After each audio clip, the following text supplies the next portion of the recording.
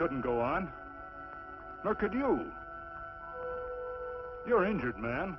Let us take you in the house. I gotta go on. Gotta get the telegraph station. We'll take you. Penelope!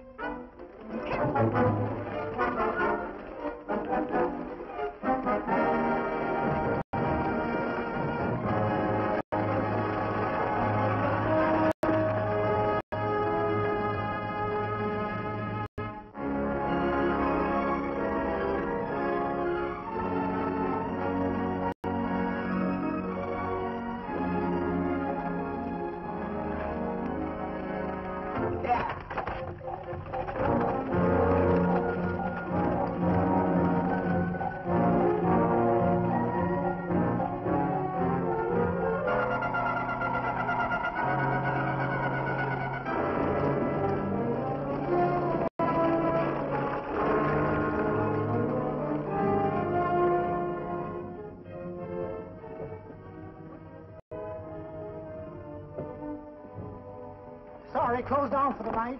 I know, but this is urgent. Won't you No, please? come out of there, you. Can't go against my schedule. Closed down. But can't you make this one exception? No. Get in here. What? Bring a light with you. You can't do this to me. I won't stand for it. The Union Pacific won't stand for it. Night prowling around here like this. You got your gall busting in my office? Who do you think you are, anyway? My key's closed down for the night. Well, you can write it, but I won't send it anyway. Here, let me. Territorial Recorder's Office. Fort Lansing.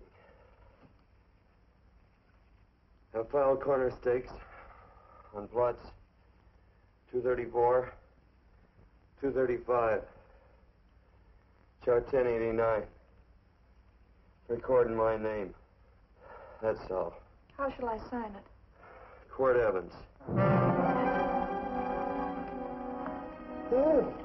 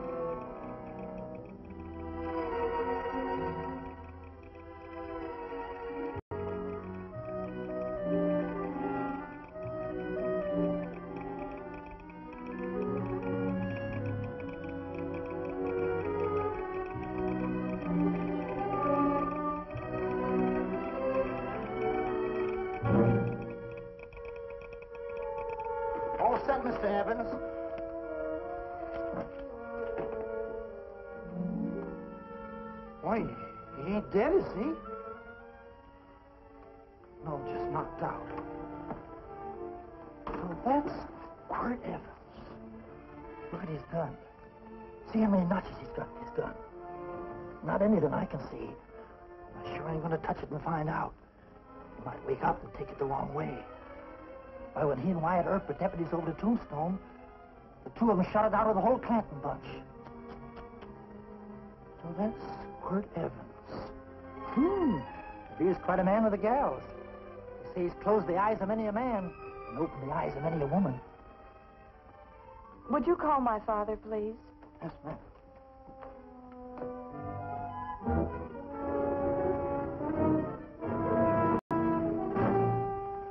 Where are we taking him? The wagon. Take him home. Quirt Evans? You're crazy.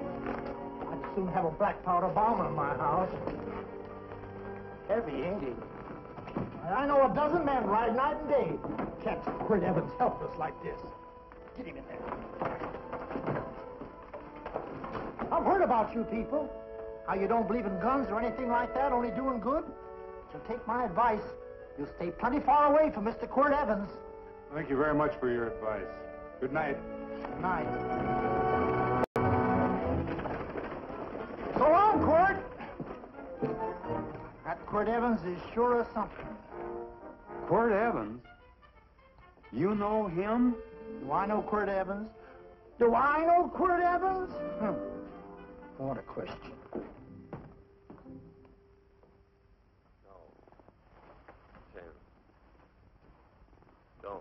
If that doesn't quiet him, I don't know what Don't. will. Oh, I'll never get that bullet out with oh. him kicking around like that.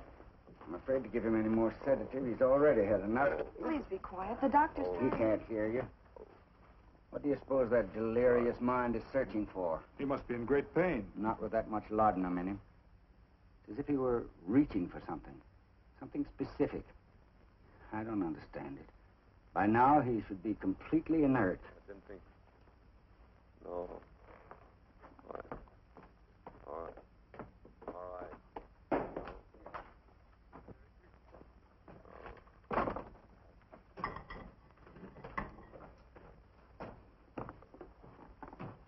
Thomas, how's the young man? Delirious.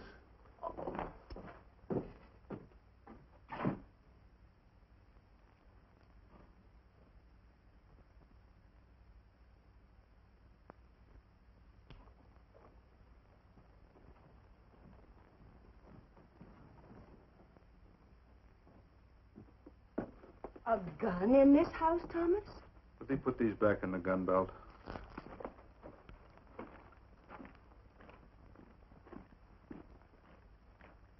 Maybe we'll have to get something and tie him down. Are you crazy? It's empty.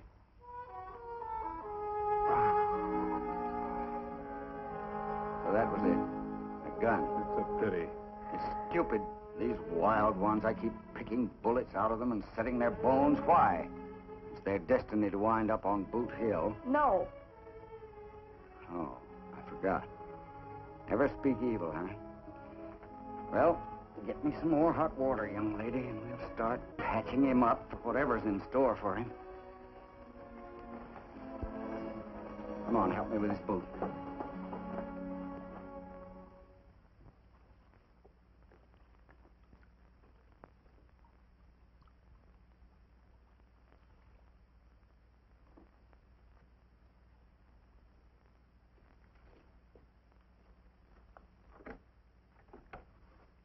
Mother, Hmm?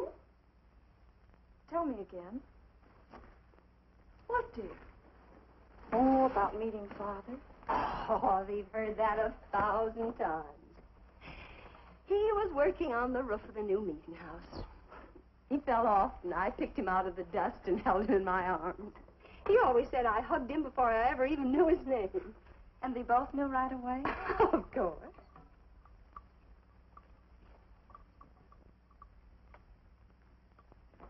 Of course, I knew he was a peaceful man, a member of the society. An evil man would seek a more profitable way of life than being a member of the Friends. Father had a beard then, didn't he? Yes? I should think that would scratch. I prefer a man clean shaven. He's got the constitution of a mountain lion. He'll pull through, barring blood poisoning. These wild ones never seem to get blood poisoning, though it's common enough among the godly. You so-called atheists. You always feel so compelled to stretch your godlessness. Wash him. The bullet's out. He's in no danger. I bet he killed a lot of people. No, he didn't. How does he know? That's enough, John. A friend doesn't speak of such things. Mrs. Worth, get that man out of here. But he's badly injured, Doctor. This isn't civilized Pennsylvania. This is a raw frontier. You must take a realistic attitude.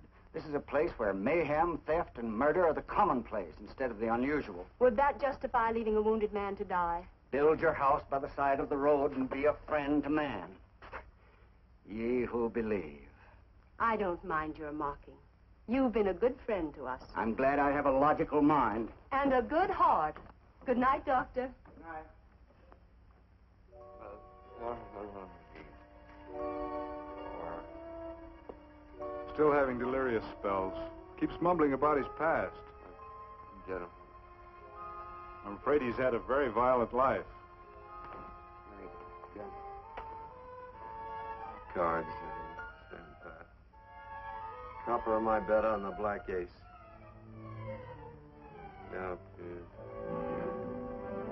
you're a shapely hussy. You get real confirmation, Margaret. Huh? You fill out that dress just right. Red's your color. All right, Margaret. Chart 1089. 1089. Margaret, you're a nuisance. Let's call it off, Margaret. Yeah, I got places to go and country to put behind me. Sure, sure. All right.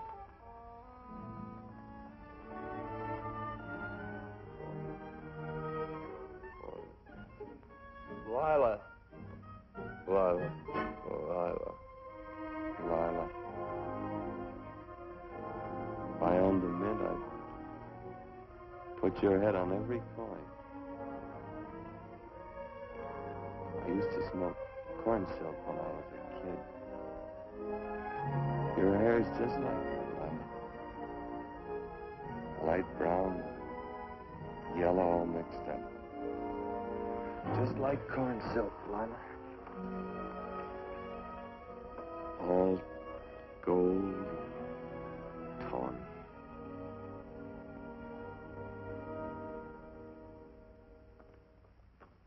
Will you bring some hot coffee, Penny? You know, the doctor says he's completely out of danger. Just sleeping. You know, Dr. Penny considers him her own personal patient. Sit down. And will you bring some milk, dear? And when you finish, you can go up and watch him while you card your wool on the loom. He doesn't need watching. He's had no temperature these past few days. Just a superlatively healthy animal, restoring his depleted strength with sleep. He's no longer delirious. But of course, if you're determined to watch over him, Penny, perhaps you'd better take a pencil and paper with you.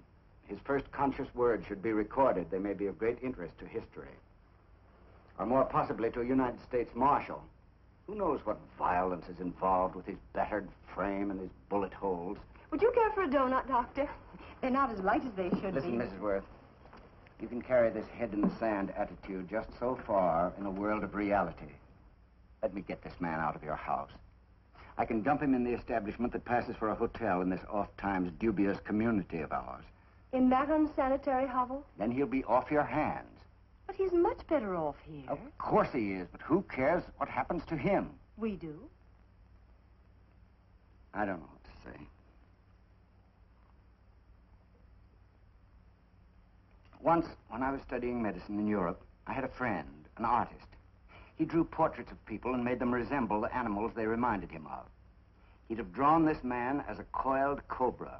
Oh, Doctor, your analogy's terribly imperfect, and your naturalism faulty. Cobras don't coil. Now, but, Doctor, we're so fond of you, and we respect you so greatly. We're sure that you'll finally realize that realism, untempered by sentiment and humanity, is really just a mean, hard, cold outlook on life. A frightened outlook.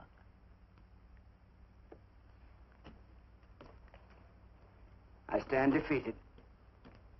And furthermore, there are times in this house when I feel as if I were living in a never, never land. But don't hesitate to call on me anytime you need help.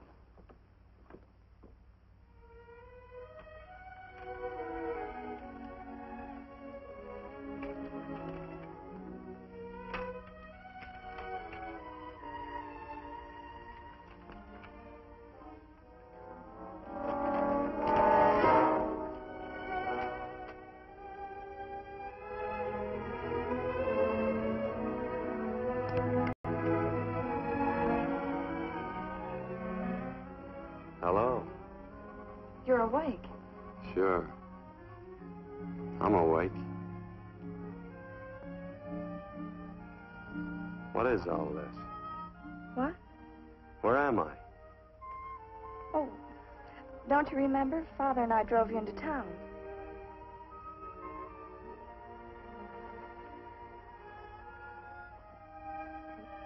Is anything wrong? No.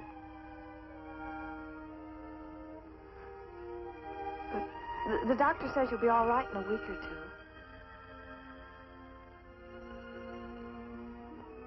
You were delirious, you know. Two days and two nights. Well, maybe that's why I'm so hungry. I could eat a yearling steer. If I could catch one. Oh, well, we'll get you something. Mother! You You talked a lot in your delirium. Mother, he's awake. How is he? Hungry. Oh, if he's hungry, he's going to be all right. Thanks a lot for housing me. You're welcome. Smoked sausage and eggs? Sounds great. Two eggs, or would you like three? I'd like six. Oh, you shall have them. Uh, Penny, get one of Father's shirts and, and a razor. I'll get him some food.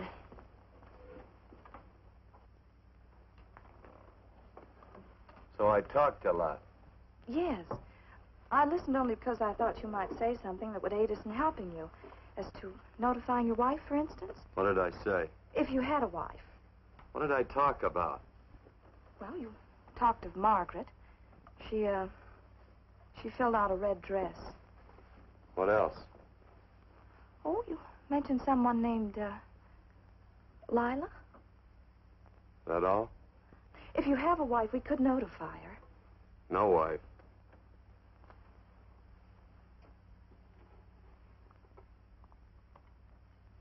That's twelve. I haven't been so flattered since my donuts won first prize at the fair back in Pennsylvania. They must be smart in Pennsylvania. Uh, some of the members thought it an exhibition of pride to enter my donuts. But what harm can there be in a little donut? Unless one eats so many of them that they explode, which is likely to happen to you, young man. Well, there's worse ways of checking out. I'll help you with the dish. No. Please stay and watch Quirt Evans. I'm curious to know the effect of six eggs, a pound of sausage, and 12 donuts. I'll call in time for the milking. Do all you people from Pennsylvania talk like that? Like what? The? Oh, well, we're friends. Friends of who? Of all. The Society of Friends. Many people call us Quakers. Oh, it's a religion. It's a belief. That on the wall. Each human being has an integrity that can be hurt only by the act of that same human being and not by the act of another human being. Is that Quaker stuff? Mm-hmm. You mean nobody can hurt you but yourself? That's a friend's belief. Well, supposing somebody whacks you over the head with a branding iron. Won't that hurt? Physically, of course. But in reality, it would injure only the person doing the act of force or violence. Only the doer can be hurt by a mean or evil act. Are there very many of you Quakers? Very few. Sort of figured that.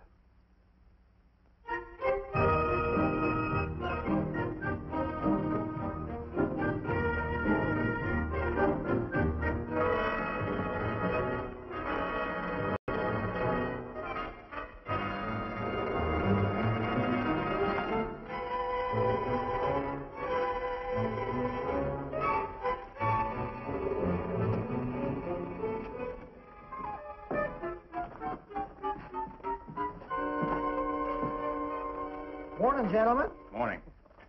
Carrot from a garden. I found these out in the road. They belong to a fellow named Quirt Evans. I understand you're a friend of his. I thought maybe you'd see that he gets them back. Leave him here. I'll see if he gets them. That quirt. He'd lose his shirt if it was buttoned on. Careless about everything. I keep telling him, sooner or later he...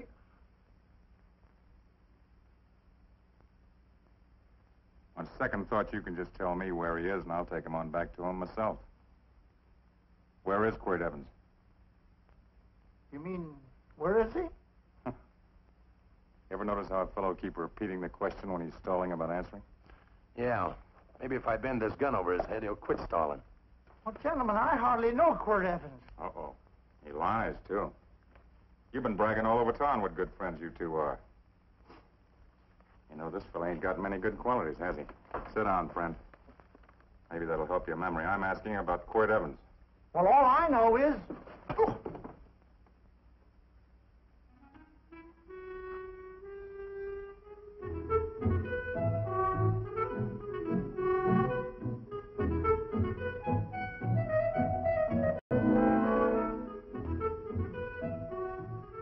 Thanks for sewing the shirt.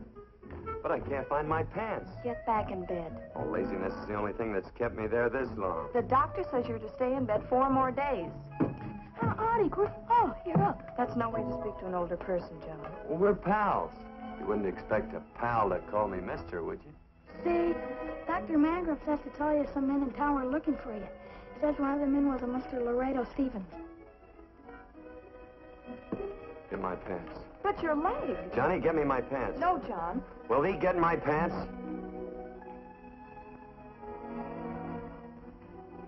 Get the pants, John. What you said.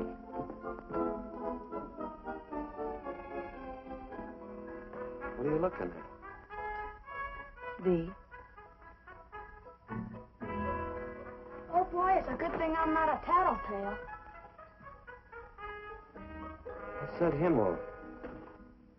They use the familiar in speaking to me. The what? The familiar. The plain language. Get thee my pants, they said. Well, what about it? Well, among us, thee and thou are used only to loved ones. To all others, we use you and, and he and they. Mother to children, husband to wife, and children to... Between lovers, of course. I'm sorry. Oh, I'm not. What?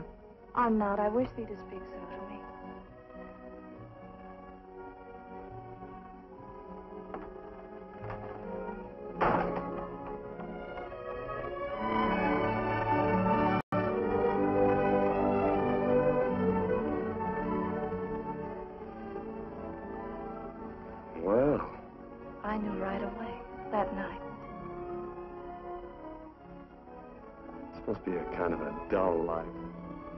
Could take you a lot of places. I'd go.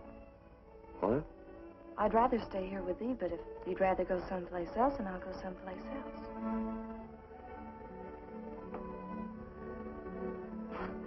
I sound very bold.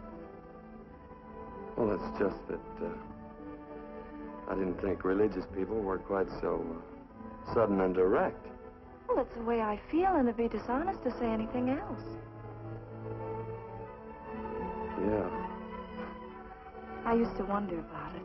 I suppose every girl does. About what? Oh, about love. About whether as you got to know someone, you fell in love little by little, or it happened all at once. They are shocked.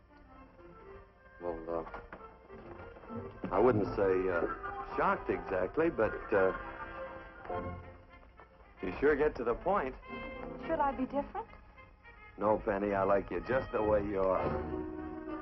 Who emptied this gun? Father? Quirt, a, a gun is a symbol of force, of evil. We never have one in our homes. It was a concession that Father allowed even an empty one. It was only because you couldn't rest without it. Where are the cartridges? Outside?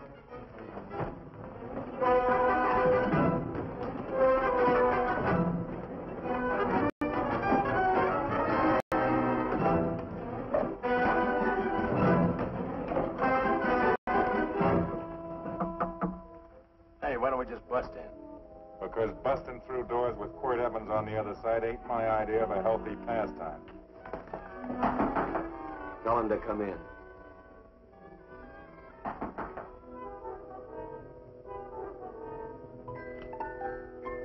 Come in. You can stand right there. Against the light. Howdy, Quirt.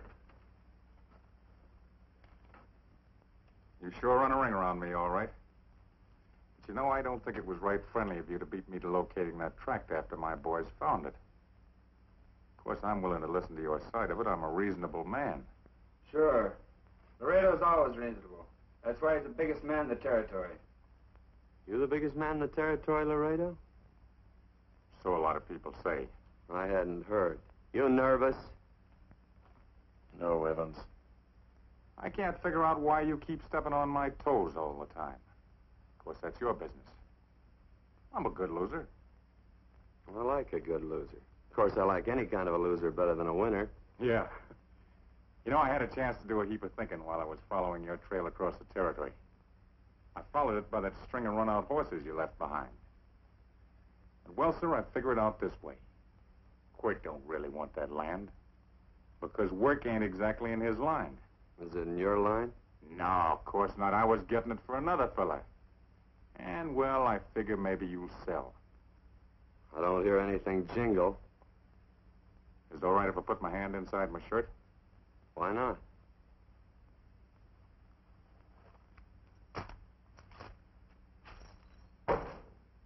Five thousand in gold there. I want twenty. Well, okay, but uh, I'll have to owe you fifteen. That's all I got on me. I got the deed in my pocket here.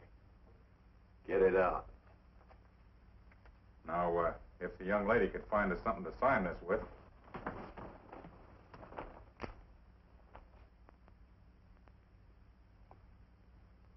Still Laredo's hired boy, eh, Hondo? Picking up after him? Carrying matches for his cigars? You mind yourself. He'll mind himself. Won't you, Hondo? Miss, would you mind taking this over to Mr. Evans, please?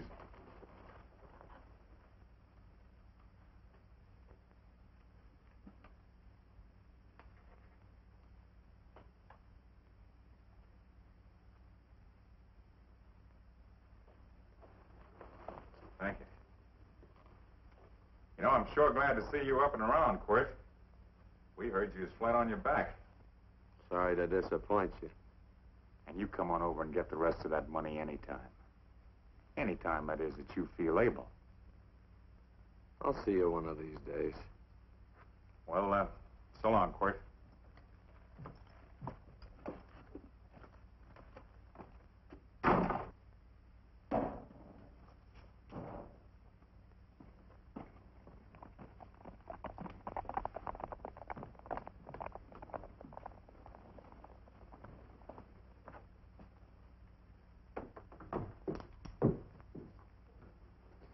Saddle up my horse, will you, kid?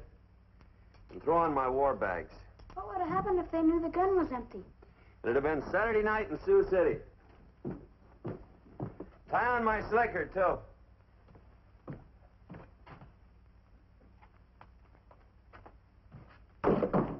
Sorry. Oh, no, Quirt, no. Kind of a boarder do you think I am? You can't do that. We'd tend to any wounded human, and not for pay. You don't believe in force, so you can't force me to take it back.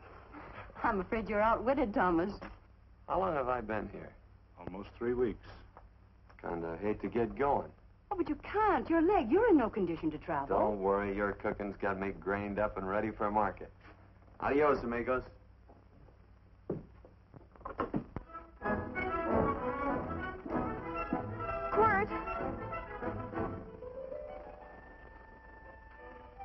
Shall I pack my things? Why? They'd leave without me? I got places to go. Quirt, I wouldn't care. It doesn't make any difference to me how far. Oh. I know so little. I.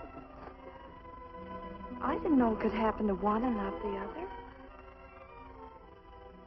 I thought it always happened to both.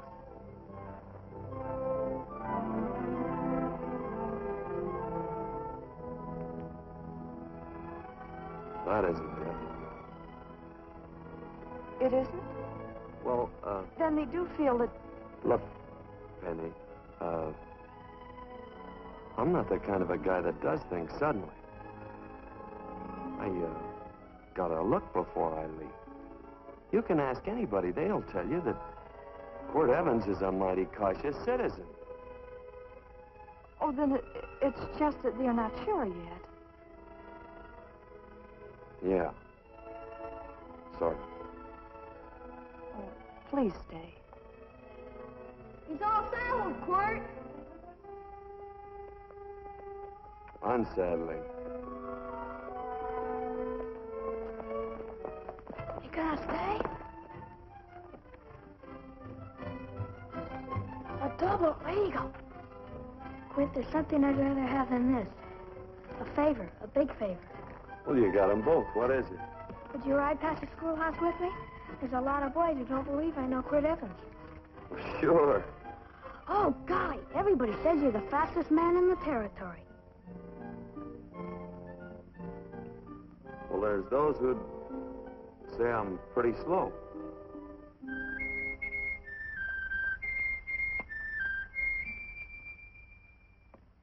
Man should be able to do a good day's work after breakfast like that. I'll see that thee do it. Penny, where's the bucket? Oh, I declare, Penny, I don't know what's happening to thee. Funny thing about pancakes. I lose my appetite for 'em after the first couple of dozen. Oh, they weren't very good this morning. Too heavy. Wild Indian. Put water on those vegetables this morning. There's always work around here to be done. He wanted to be a farmer, didn't he? Not anymore, I don't.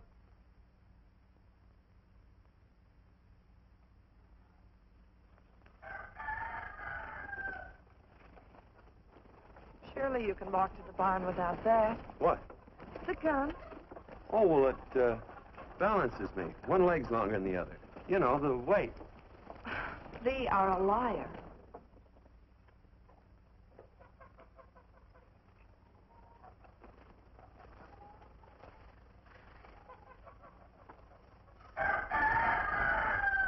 Throw the cow some hay. There's a pitchfork. Before I was 15, I learned to hate those things. I swore I'd leave plows and pitchforks to farmers. I'll do it. No, I'll do it. But it's an occasion. Thee. What? Nothing, just. Uh, just thee.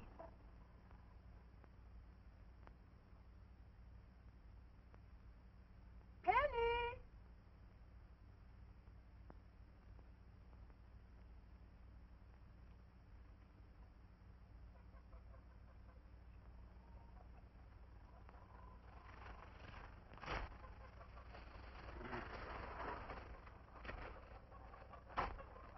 Well, you wanted hay, didn't you? Mm, Didn't thee? Fifteen. Better put this littlest one in a box.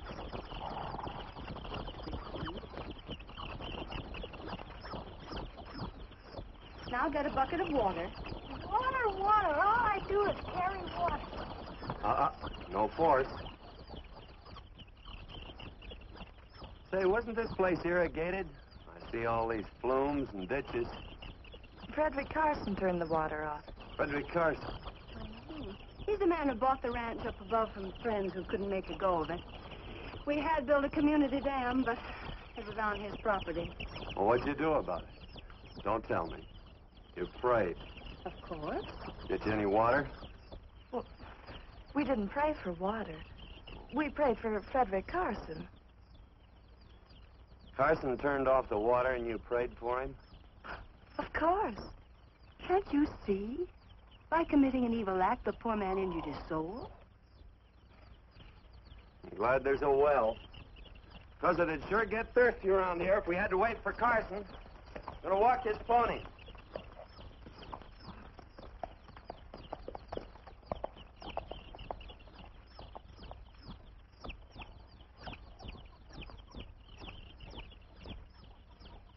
Benny?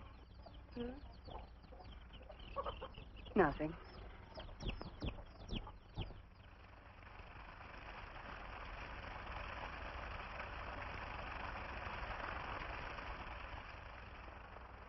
Be sure you don't leave no slack in that cinch. The boss will sure howl. Yeah, this ain't the first pony I ever saddled. He'd squawk no matter how I done it. He's sure getting mean these days, ain't he? Cantankerous by his natural bornin'. That boil in his neck don't help him none either. Get out of my way. You belong behind a plow.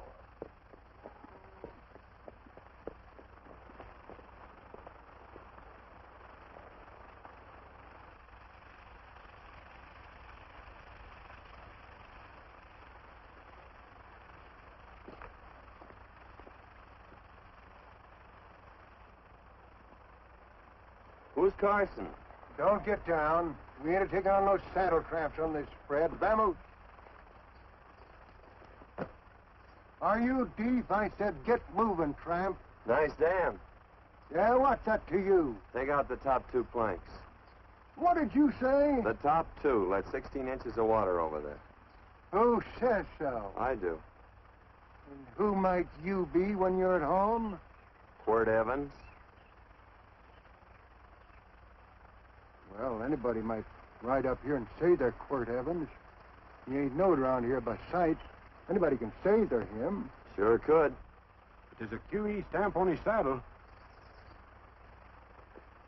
Well, take the top planks out of that head gate, you stupid idiot.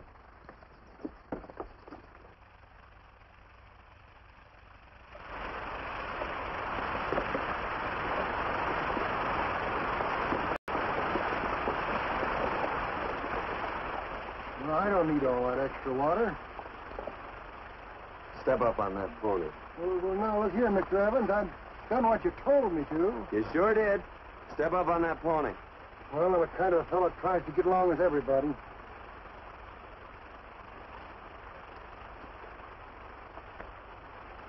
Side me.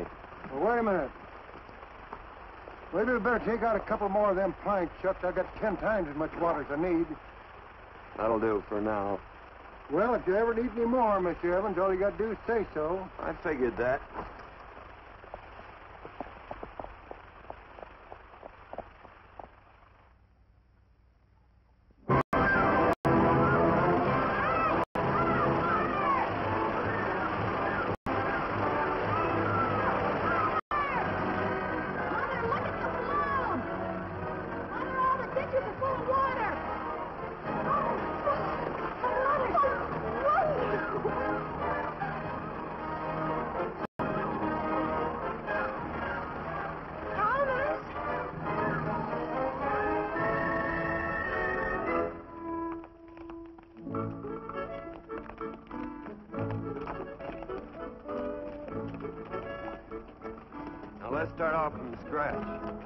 Got more water than you need. You're absolutely right, Quirt. I mean, Mr. Evans. Say, do you mind if I call you Quirt? Not a bit. So it's no skin off your moccasins if you let a little water over that ditch. I absolutely no, Mr. Evans. Uh, I mean, Quirt. You're gonna be neighborly or not? Well, I sure am, Quirt. Well, that's the way to talk.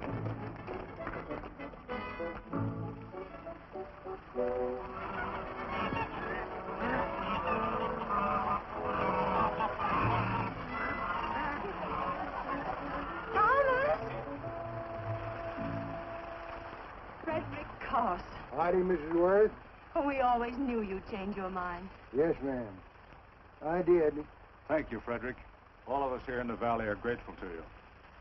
Worth, it's like I was saying. I ain't got any use for all that extra water. Why shouldn't I let my neighbors use it? I believe that neighbors should be friendly. What have you got there on your neck? A boil?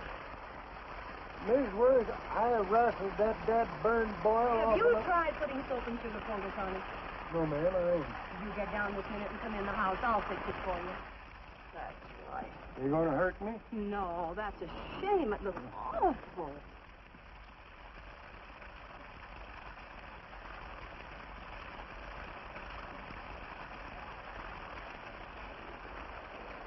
Well, looks like your prayer straightened everything out. So you think your gun changed Frederick Carson, huh? Who says I pointed a gun? I do. Well, I didn't. And he gave in more easily than I expected.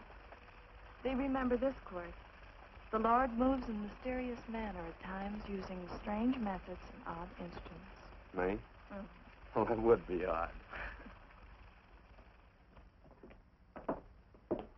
I just get a gnawing hankering after good pies and truck like that. Oh, Freddie Carson. Yes, sir? I want you to have some of these. They're awful good with coffee in the morning.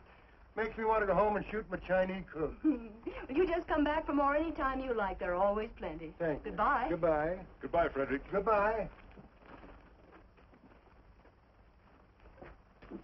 Man ought to see more of his neighbors.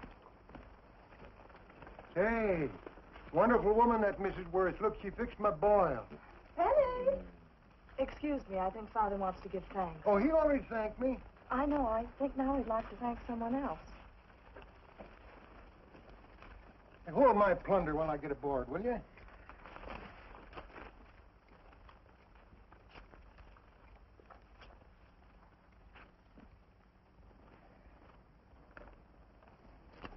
You know, Mrs. Worth's going to keep me supplied in pies. I want to bring her over a quarter of beef now and then. Finally come to an understanding with my neighbors. You sure did. Oh, well, of course, you know I was just scared to death when I made that speech to them people. I'm glad you made me do it. Makes me feel good. Adios, amigo.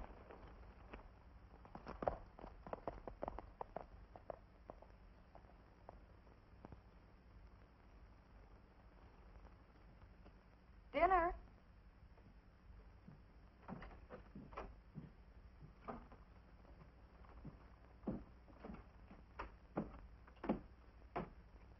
How bad's dinner gonna be? Oh, roast venison and vegetables, and of course a skimpy chicken. Well, with a pie and cake, I'll try to make out. Chicken or venison? Both. I feel real good. Oh, you do?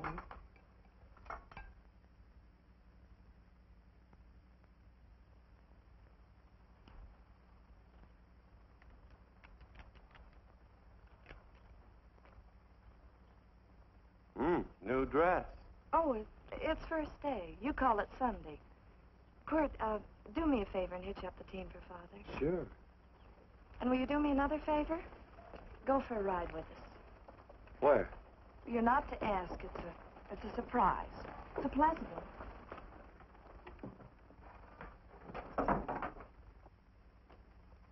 Hey, Quirt, we got a surprise for you. He knows. I told him. Thought you weren't allowed to work on Sunday. Oh, Quirt, there's nothing we're not allowed to do. It, it's just that we don't believe in doing what we know is wrong. Well, that makes it pretty much each fella's own guess. But each fellow knows inside. Well, there's a lot of gents I wouldn't want to give that much leeway to.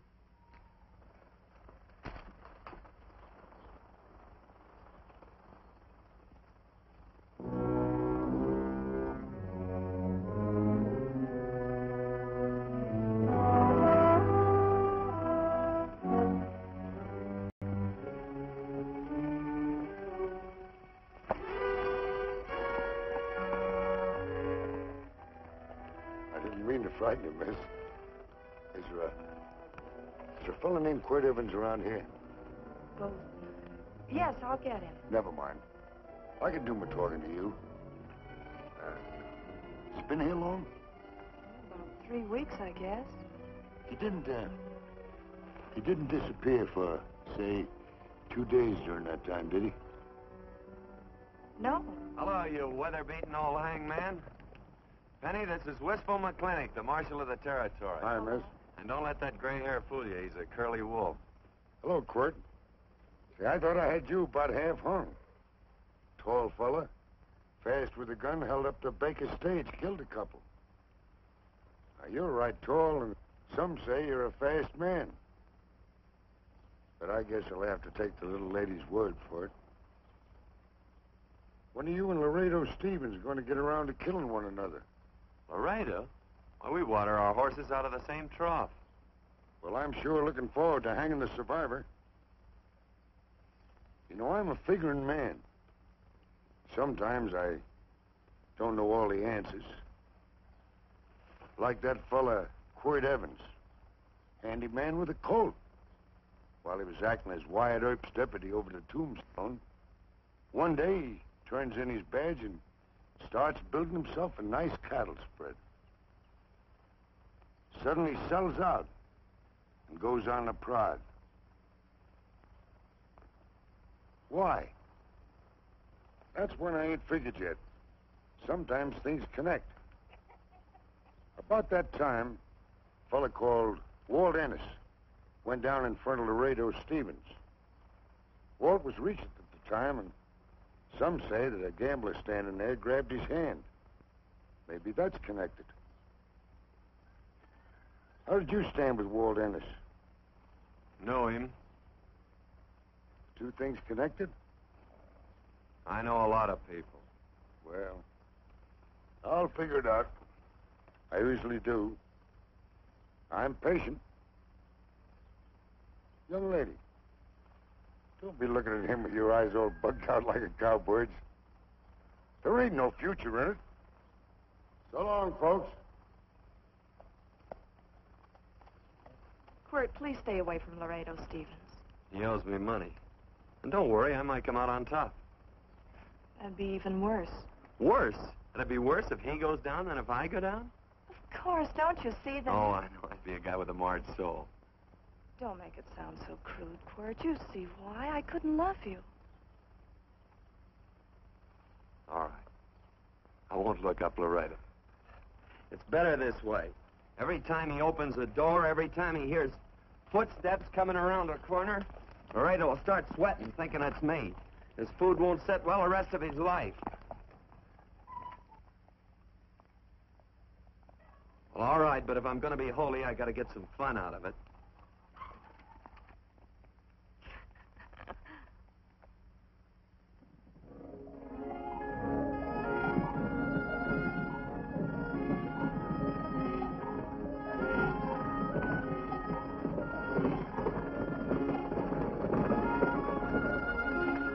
Feel like such a gadabout.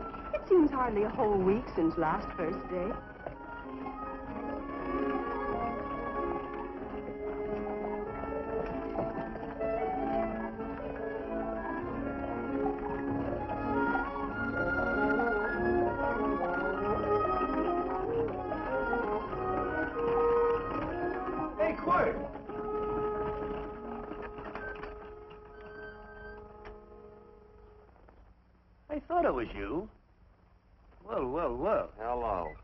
Mr. and Miss Worth, Miss Worth, Randy McCall. How do you do?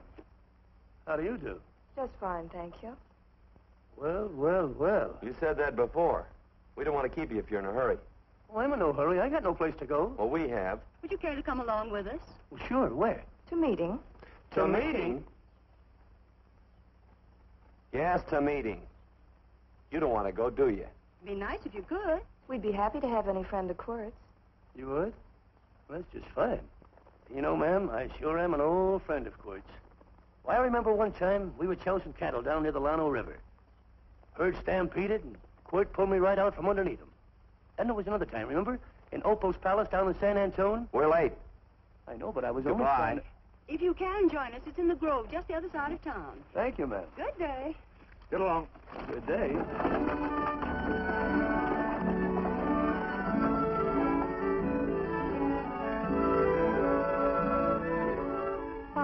Why askest thou me concerning that which is good?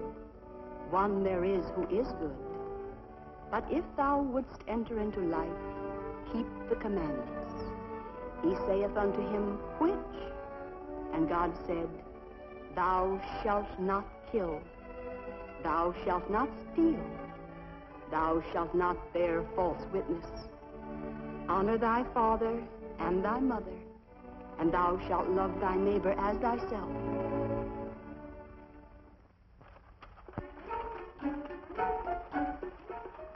What comes out of this thing that makes it worth all this work?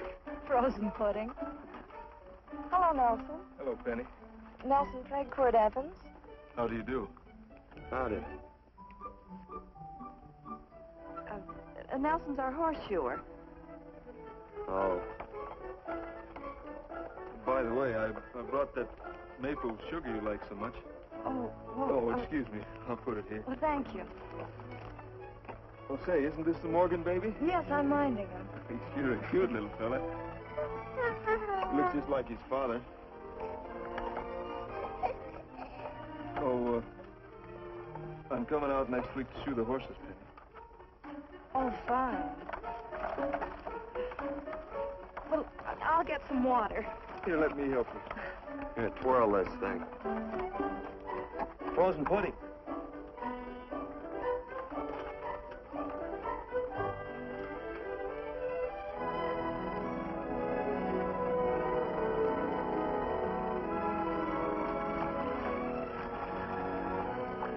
Hold them a minute, Quirt. I want some of those flowers.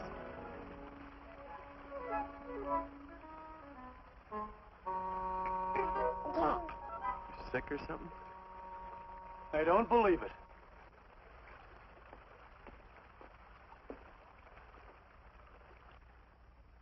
It's a baby. Yeah, I know. Is it old enough to talk? Of course not.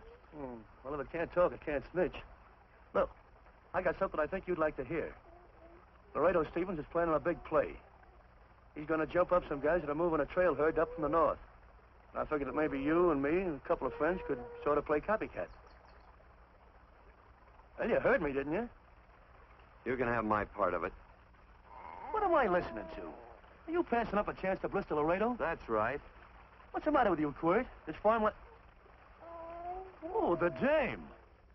Sticking your head in this bucket will shut you up. You're getting awful touchy lately. You never used to mind what I said. Hello. Hi. Come along with the water, Quirt. Shut up.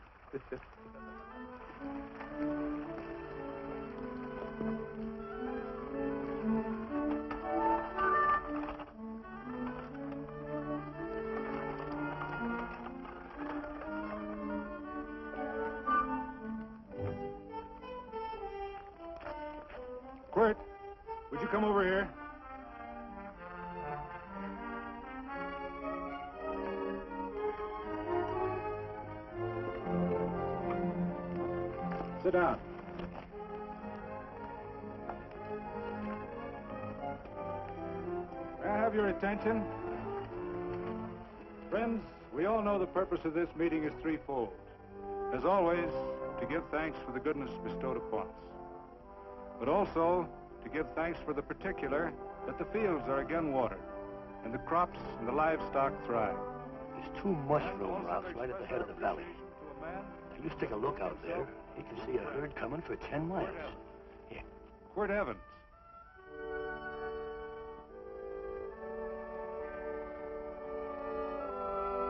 Friends,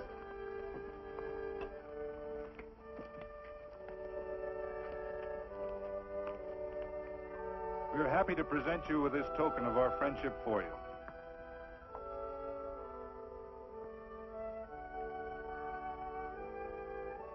This is Quirt Evans. We're happy to have him here with us because he provided another incident which reaffirms our belief that all men are good if they are shown the light. He persuaded Frederick Carson to let down the water by showing him that a man who is a friend to other men is a happy man himself.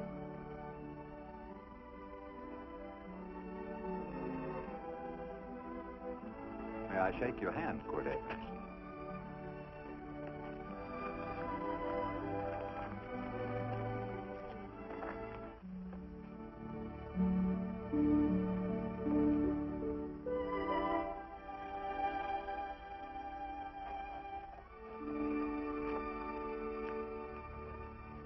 I want to talk to you.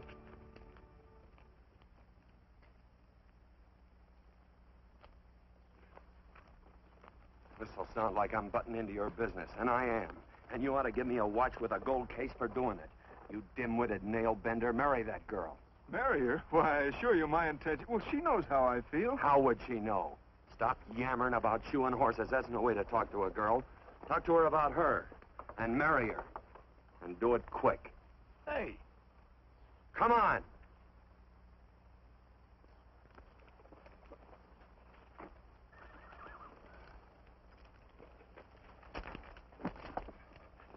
Listen to this. And Benaniah, the son of Jehoiada, the son of a valiant man of Kabzeel, who had done many acts of valor, slew two men of Moab and went down and slew three lions in the midst of a pit in the time of snow. Phew! Three lions. And Benaniah slew an Egyptian who had a sword. He took away his sword and slew him with a staff. I guess that must mean a club. Oh, brother, this is good writing. Let's go. What about the Bible? You can't throw it away. That would be bad luck. Then keep it. All right. This is one book I'm sure going to read.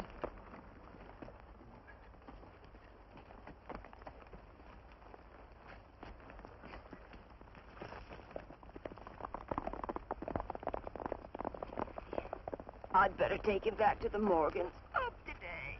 That's a big boy. Why did Quirt leave so abruptly? I don't know.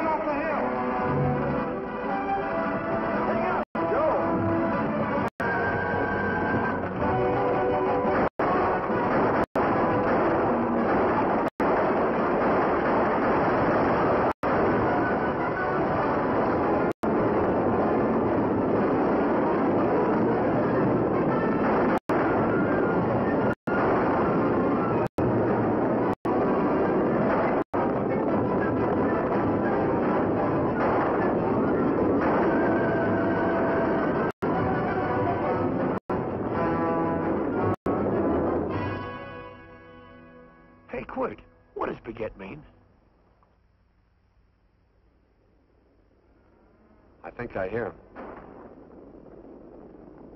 Yeah, Let's get cinched up. I don't know how I missed this book. You know, you're not very pretty, but I like you just the same on account of your head works. It's much nicer this way. You make it interesting. You know, anybody could just shoot these guys, but you think of an interesting way of doing it. And you know, Quirt. I hate to shoot people. I remember I shot a waddy once in Montana, and I dreamed about it all the next night. And of course, there's always witnesses, and you gotta shoot the witnesses. Stop jabbering and let's go. Okay, take it easy, pal. Stitching time, you know. I don't want to lose my war bags. And again, I figure if uh, you change your mind about shooting if Laredo was with these guys. Step up on that horse. Okay, you got it. Or maybe you're just crowding Laredo into drawing on you in front of a lot of people. Kind of saving them for a big night in town, huh?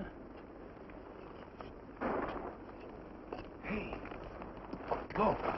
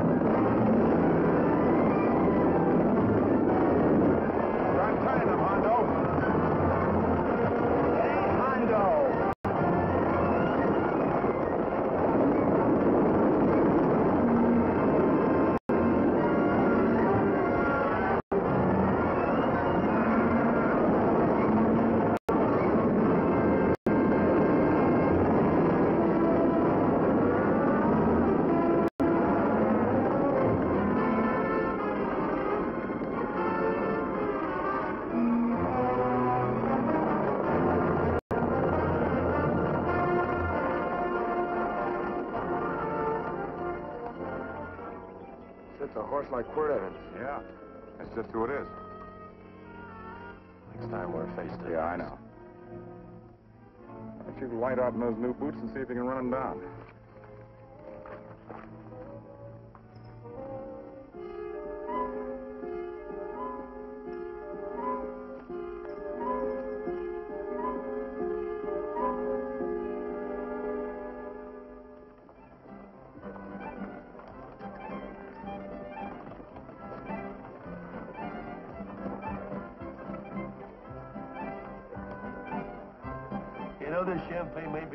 Fancier than whiskey, but it sure don't give quick action. To tell you the truth, I don't really like it, but it's very fashionable. How do you like it, Lila? Tickle's going down, and it's expensive, so I like it. You sleepy, tall man? Nope. Tired? No. Worried? Or maybe just plain bored? Not a chance, baby. You're never bored. I wish I had that in writing. You know, it's been a long time since you told me that my hair reminded you of corn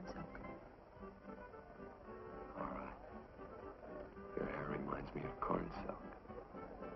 All gold and tawny. That's right. All gold and tawny.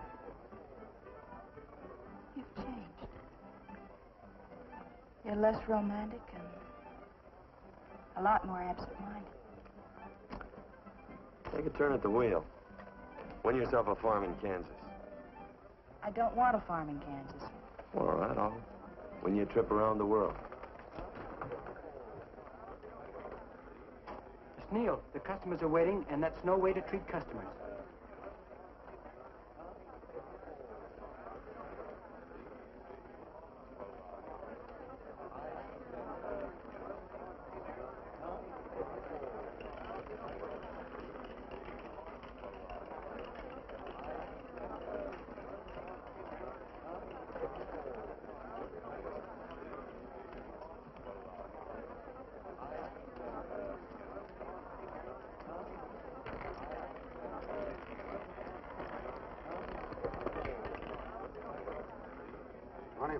Twenty-five on the red. Give me a stack of blues.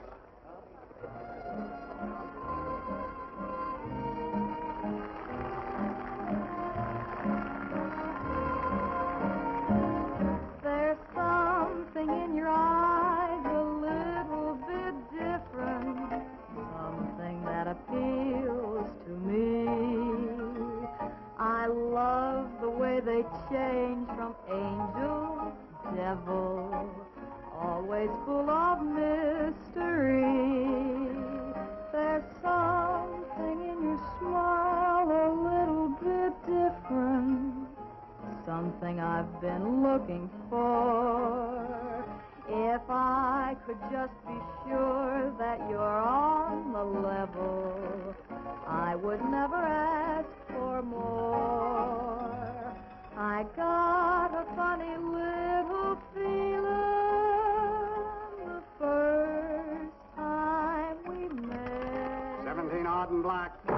17. There goes the last button on my shirt. All right, buddy, you gonna let it ride? On or off of 17? Kiss me. There's something in your kiss, a little bit different. Something that I never knew. In every way, you're just a little bit different.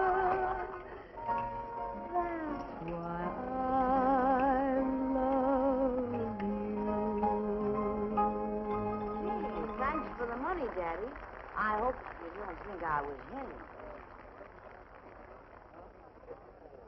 Bourbon, large glass. Hey, there's plenty of room on either side. Do you have to come bulling in here between us? I didn't see you. You interrupted a very important discussion on serious matters regarding big things. Me and my brothers don't like it. Gentlemen, gentlemen, no trouble, please. We just put the place back together after the last difference of opinion. Gentlemen, what with the breakage in the overhead, mainly the breakage, I've had a dreadful time keeping body and soul together. If what I think is going to happen happens, it'll round out a full day. Here's your trip. What's eating you, tall man? Did you have words with those Baker brothers? Who? Those four rhinos. No? It's told around they're quarrelsome citizens. Gentlemen, let's consider the incident closed. Watch our tempers. Maybe I ought to go apologize.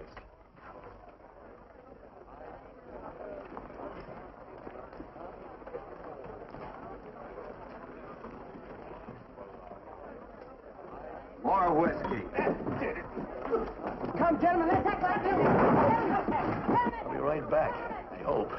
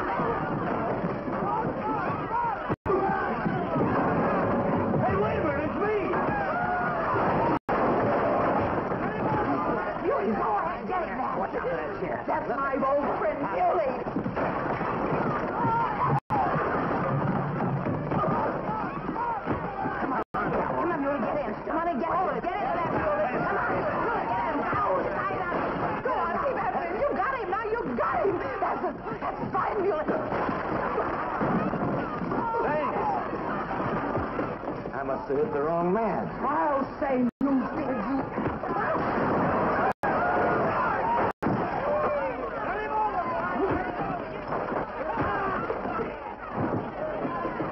Hey, Bert. Sorry, Quirt. How you doing?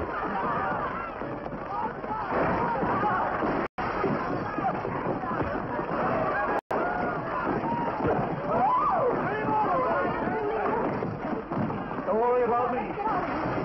Come on. You wait outside count them as we throw them out.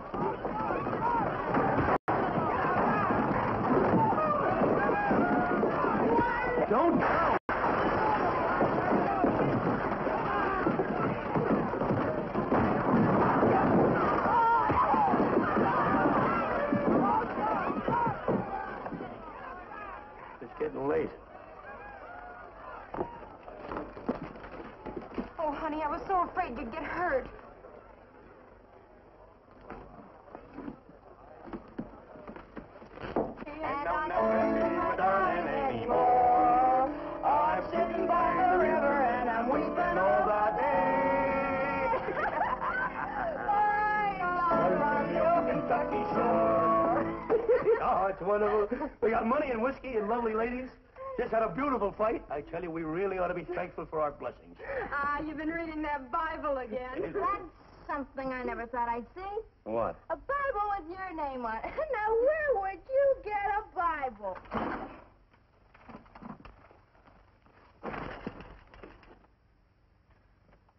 Quirt!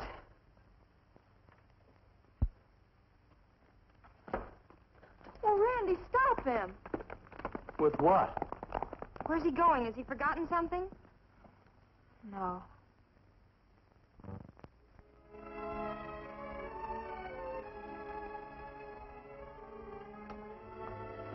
Penny, what is wrong with thee of late? The tablecloths don't belong in there. Oh, I'm sorry.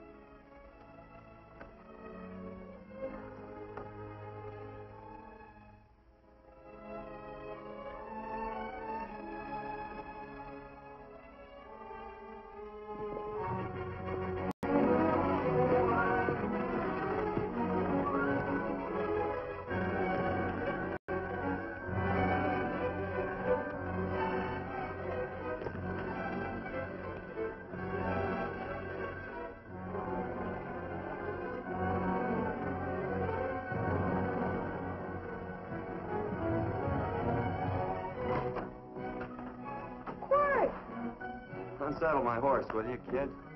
Sure. Want to board her for a while? Of course. You're always welcome. Quirt. Hello. Well, I haven't had a decent meal since I left here. Chocolate? Not very good. The flour, you know. Well, I'll just stick around till you get one right.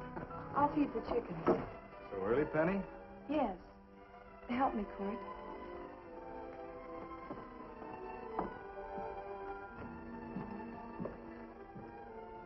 Does it take two to feed a few chickens, Mother? At times, Thomas, at times. Remember?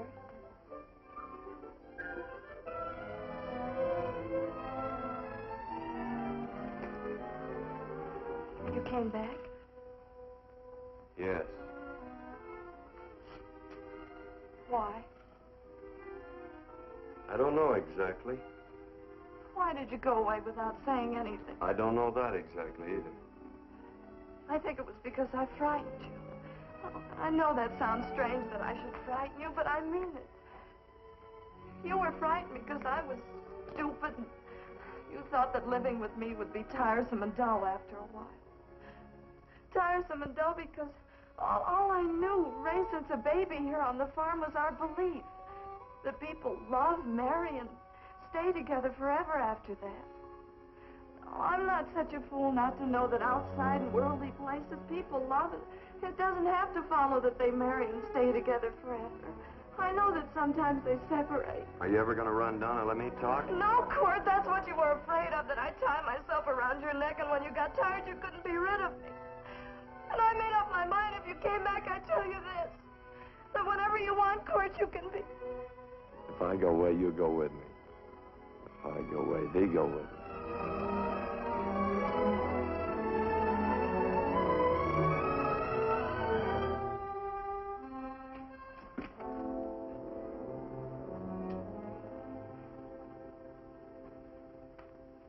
I used to be an Indian fighter. Just can't help walking up soft on people. Morning, Missy. This young man been doing any traveling since I was here last? All over Casa Verde lost a big herd a few days ago. Why, Missy, cat got your tongue? Why ask her? You know I've been traveling. You looked in the corral to see how my horse shaped up. I did just that. And he sure covered a lot of country. He's a right weary animal. I just wanted to see would the young lady lie for you. I was going to. You been over Casa Verde way? I've been to Rimrock, and I got witnesses to prove it. Witnesses? For instance? Randy McCall, Christine Taylor. That's what I call witnesses. Who else? Lila Neal, I suppose. She'd make a good alibi witness for you. Randy, Christine, and Lila. There's three to draw to. So Lila saw you there too, huh? Yes.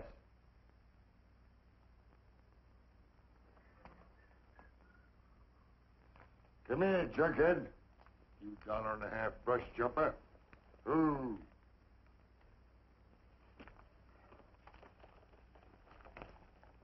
Well, guess a you again, Quirt. But I'm patient. That's what hangs all you fellas in the end. I'm patient.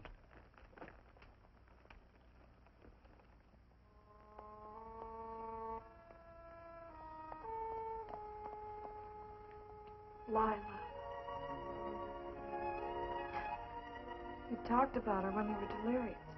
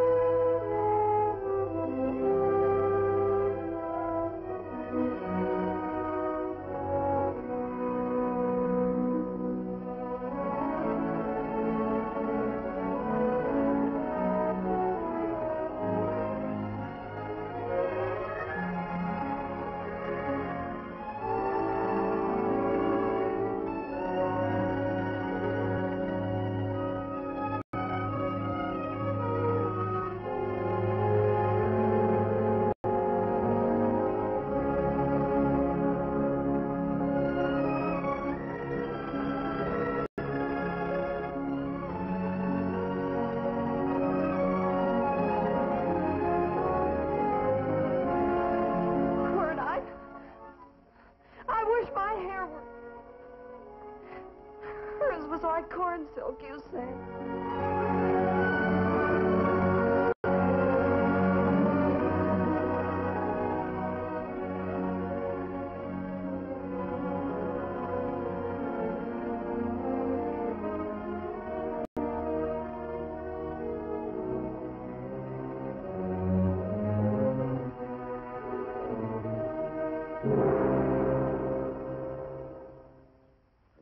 Sight I never thought I'd see.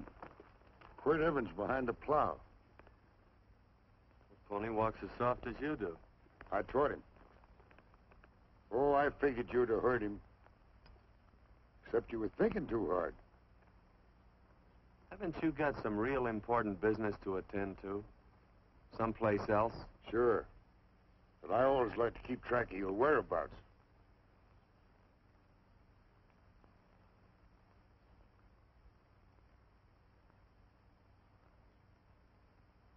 You know, Quirt, I always figured on using a new rope and hanging you.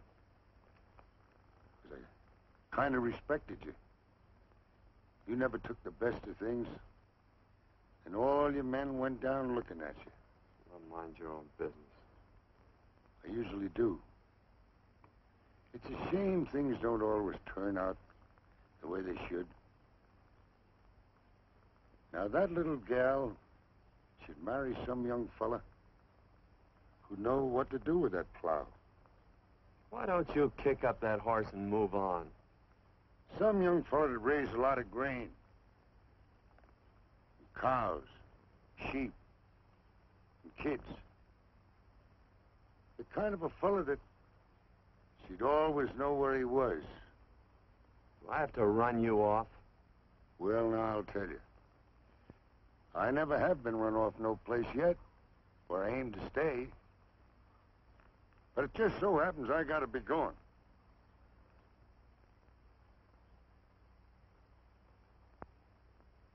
No, Quirt. You don't raid a new rope with me.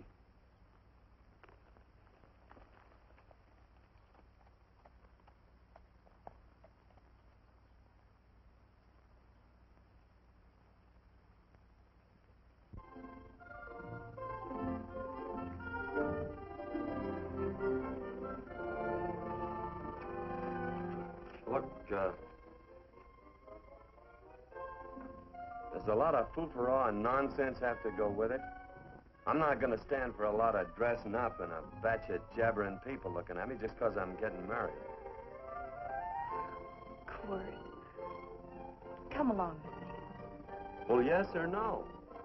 Come along. Picking blackberries? Mm-hmm. All right.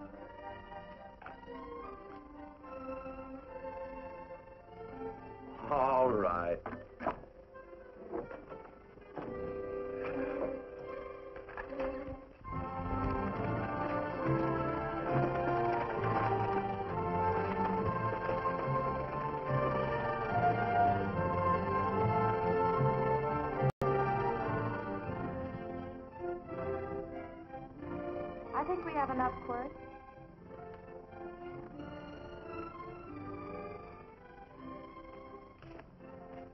Did like blackberries. Now I know I was right. There's too much work connected with it. I'll get some more first.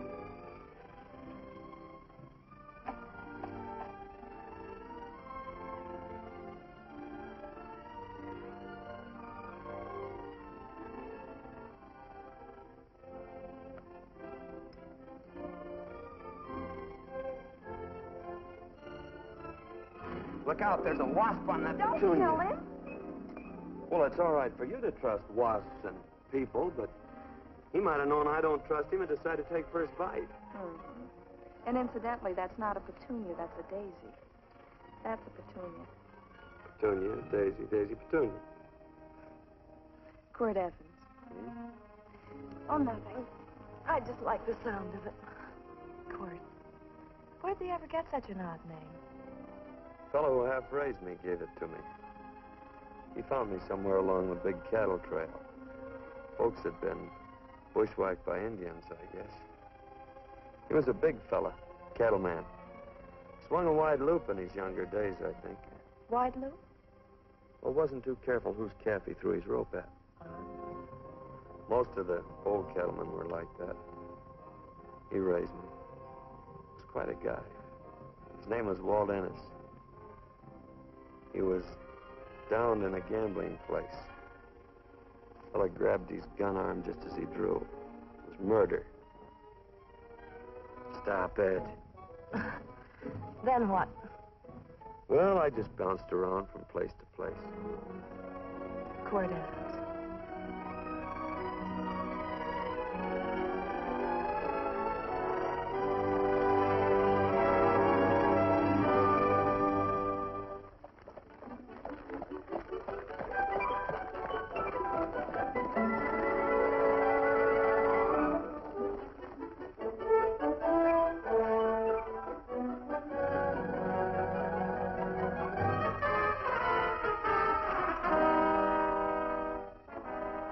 I don't see any gun. I know him. He's got a gun, all right. I know him.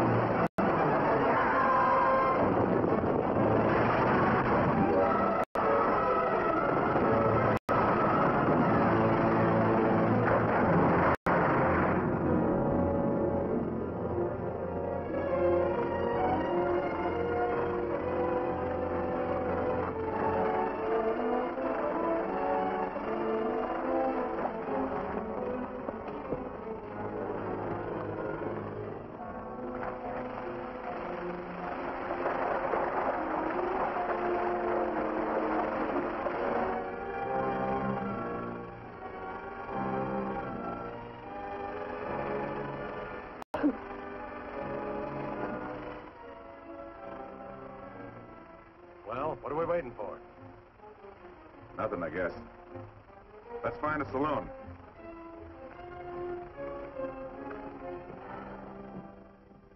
You don't have to be worried about Penny, Mother. Oh, I can't help worrying about her, Johnny. Get that doctor and burn up the road both ways.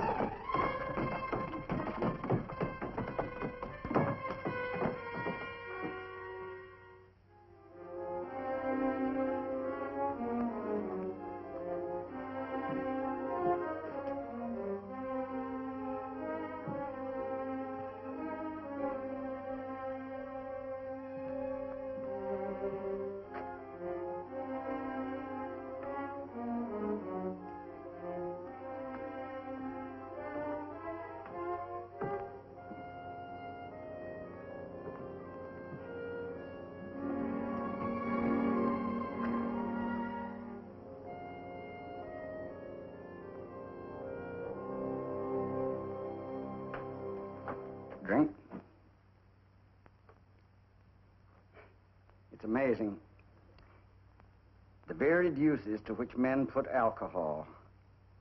To each different individual, it's either a stimulant, a depressant, or an anodyne. Just now, I'm using it as an anodyne. Get to the point. The practice of medicine is one of the most infuriating professions known to man. It takes 30 years of experience to teach you that in the final analysis, there's nothing to do but stand and watch.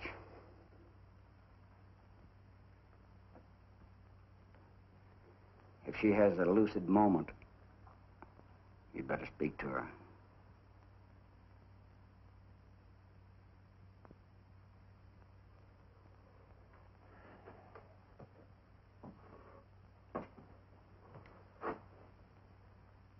I'm not trying to argue you out of anything. But maybe you ought to stop and think.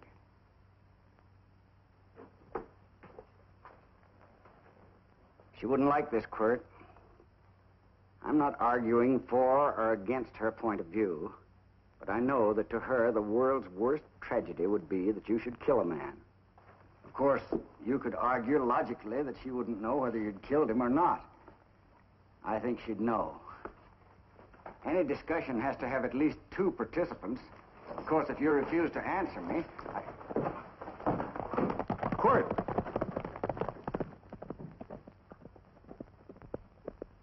If I felt cynical, this would be a good opportunity to observe that we're about to see a perfect example of an eye for an eye, etc. Unfortunately, I can't quote chapter and verse. And I'm too tired to be cynical.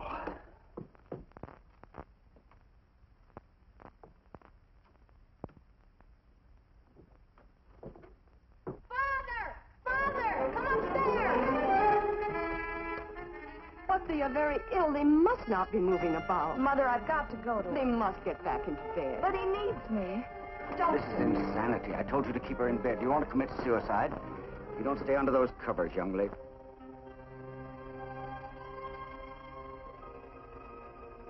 There's no fever. Well, they must do what the doctor says. Mother, please. I can't understand it. I can't understand it at all. There must be some logical, scientific explanation. I'm too old to start believing in miracles. Wrap her in blankets.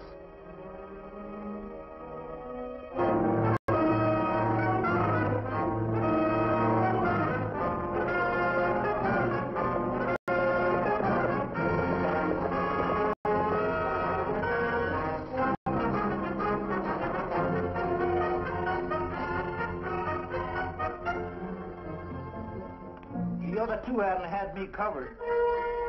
I never let that Hondo Jeffries pistol whip me. Wait till Quirt Evans hears about this. Him and me'll take the starch out of the whole caboodle of 'em. Why, Quirt and me once, well, that was in Dodge City several years back, when the Earps and Clantons were gunning it. Well, me and Quirt,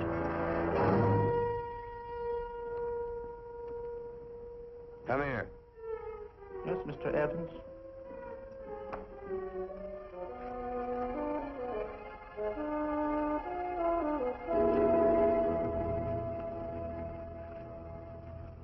Colorado Stevens? he's in the Eagle, and that pistol whipping Hondo's with him. Take him a message. Hey, buy the boys a drink. Celebrating? Sure. Why not? But you ever get excited when you make a big win like this? Why get excited? Sometimes you win and sometimes you lose. Don't get excited, gentlemen.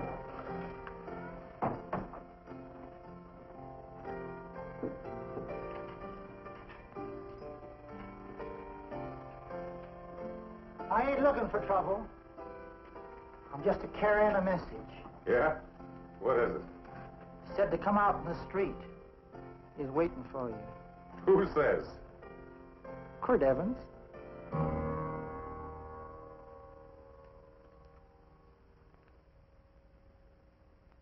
What is this, a joke? Quirt Evans is... Take a look out in the street and see if it really is him. Jack, take a look in the street.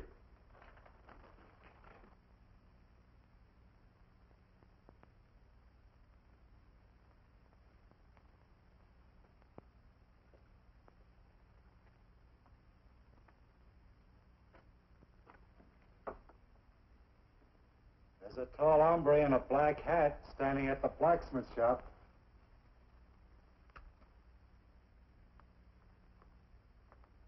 Mind if I use the back door, Pete? So long, Pete.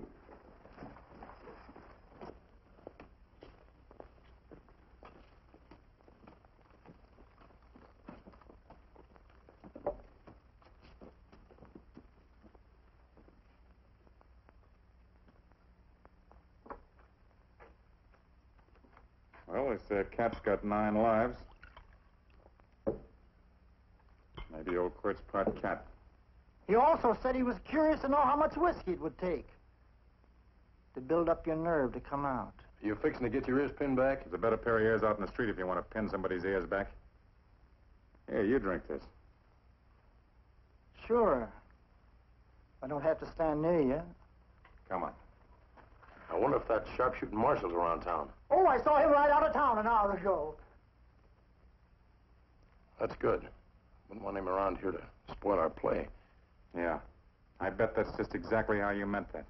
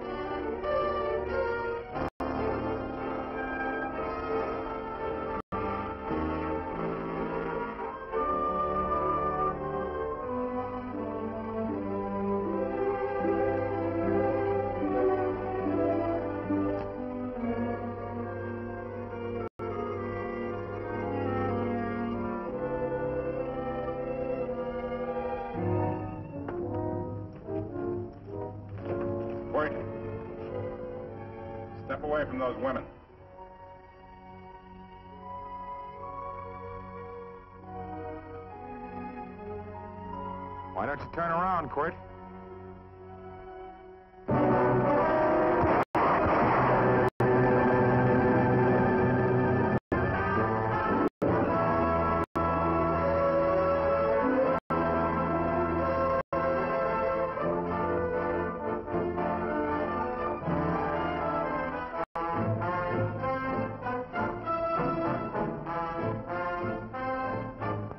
Nothing ever works out right.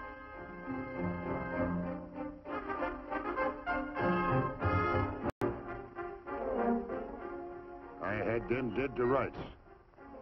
They got the Baker stage. So I figured I'd watch the ruckus. You down them, and I'd hang you. Sort of killing three hawks with one stone, so to speak. And nothing, nothing ever works out right. Well, I missed you getting for it. But I'm patient. It's only a matter of time and I hang you. Not me, mister. From now on, I'm a farmer.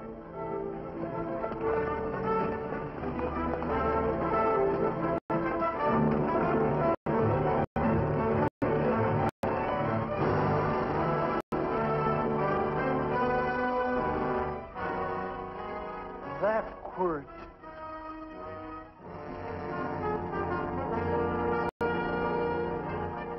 Say, Quirt might need that.